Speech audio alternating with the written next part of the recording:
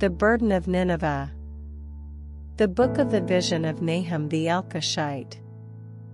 God is jealous, and the Lord revengeth, the Lord revengeth, and is furious, the Lord will take vengeance on his adversaries, and he reserveth wrath for his enemies.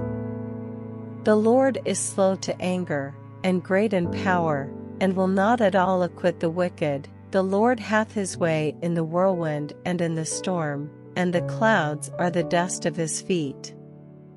He rebuketh the sea, and mocketh it dry, and drieth up all the rivers, Bashan languisheth, and Carmel, and the flower of Lebanon languisheth. The mountains quake at him, and the hills melt, and the earth is burned at his presence, yea, the world, and all that dwell therein. Who can stand before his indignation? And who can abide in the fierceness of his anger? His fury is poured out like fire, and the rocks are thrown down by him. The Lord is good, a stronghold in the day of trouble, and he knoweth them that trust in him. But with an overrunning flood he will make an utter end of the place thereof, and darkness shall pursue his enemies. What do ye imagine against the Lord? He will make an utter end, affliction shall not rise up the second time. For while they be folden together as thorns, and while they are drunken as drunkards, they shall be devoured as stubble fully dry. There is one come out of thee, that imagineth evil against the Lord, a wicked counselor. Thus saith the Lord, though they be quiet, and likewise many, yet thus shall they be cut down, when he shall pass through. Though I have afflicted thee, I will afflict thee no more.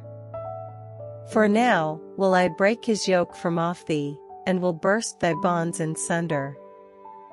And the Lord hath given a commandment concerning thee, that no more of thy name be sown, out of the house of thy gods will I cut off the graven image and the molten image, I will make thy grave, for thou art vile. Behold upon the mountains the feet of him that bringeth good tidings, that publisheth peace. O Judah, keep thy solemn feasts, perform thy vows, for the wicked shall no more pass through thee, he is utterly cut off. He that dasheth in pieces is come up before thy face, keep the munition, watch the way, make thy loins strong, fortify thy power mightily. For the Lord hath turned away the excellency of Jacob, as the excellency of Israel, for the emptiers have emptied them out, and marred their vine branches. The shield of his mighty men is made red, the valiant men are in scarlet, the chariots shall be with flaming torches in the day of his preparation, and the fir trees shall be terribly shaken. The chariots shall rage in the streets, they shall jostle one against another in the broad ways, they shall seem like torches, they shall run like the lightnings.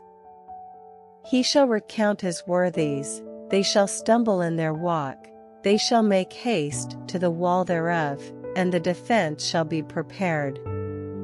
The gates of the rivers shall be opened, and the palace shall be dissolved. And Huzzab shall be led away captive, she shall be brought up, and her maids shall lead her as with the voice of doves, tabering upon their breasts. But Nineveh is of old like a pool of water, yet they shall flee away. Stand, stand, shall they cry, but none shall look back. Take ye the spoil of silver, take the spoil of gold, for there is none end of the store and glory out of all the pleasant furniture. She is empty, and void, and waste, and the heart melteth, and the knee smite together, and much pain is in all loins, and the faces of them all gather blackness. Where is the dwelling of the lions, and the feeding place of the young lions, where the lion, even the old lion, walked, and the lions whelp, and none made them afraid? The lion did tear in pieces enough for his whelps, and strangled for his lionesses, and filled his holes with prey, and his dens with raven. Behold, I am against thee, saith the Lord of hosts, and I will burn her chariots in the smoke, and the sword shall devour thy young lions, and I will cut off thy prey from the earth, and the voice of thy messengers shall no more be heard. Woe to the bloody city! It is all full of lies and robbery, the prey departeth not. The noise of a whip, and the noise of the rattling of the wheels, and of the prancing horses, and of the jumping chariots. The horseman lifteth up both the bright sword and the glittering spear, and there is a multitude of slain, and a great number of carcasses, and there is none end of their corpses, they stumble upon their corpses. Because of the multitude of the whoredoms of the well-favoured harlot, the mistress of witchcrafts, that selleth nations through her whoredoms, and families through her witchcrafts.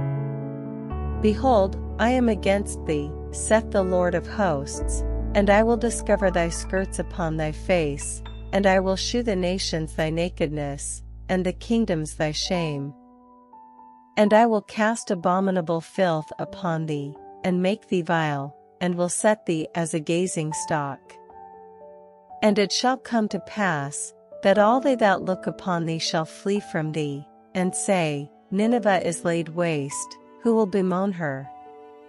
Whence shall I seek comforters for thee?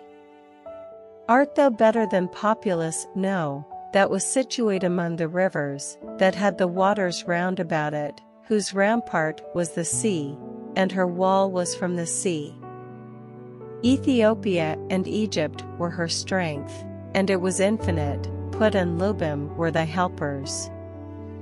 Yet was she carried away, she went into captivity, her young children also were dashed in pieces at the top of all the streets, and they cast lots for her honorable men, and all her great men were bound in chains. Thou also shalt be drunken, thou shalt be hid, thou also shalt seek strength, because of the enemy. All thy strongholds shall be like fig trees with the first ripe figs, if they be shaken, they shall even fall into the mouth of the eater. Behold, thy people in the midst of thee are women, the gates of thy land shall be set wide open unto thine enemies, the fire shall devour thy bars. Draw thee waters for the siege, fortify thy strongholds, go into clay, and tread the mortar, make strong the brick kiln. There shall the fire devour thee, the sword shall cut thee off, it shall eat thee up like the cankerworm, make thyself many as the cankerworm, make thyself many as the locusts. Thou hast multiplied thy merchants above the stars of heaven, the cankerworm spoileth, and fleeth away. Thy crowned are as the locusts, and thy captains as the great grasshoppers, which camp in the hedges in the cold day, but when the sun ariseth they flee away, and their place is not known where they are. Thy shepherds slumber, O king of Assyria, thy nobles shall dwell in the dust, Thy people is scattered upon the mountains, and no man gathereth them. There is no healing of thy bruise, thy wound is grievous, all that hear the bruit of thee shall clap the hands over thee, for upon whom hath not thy wickedness passed continually?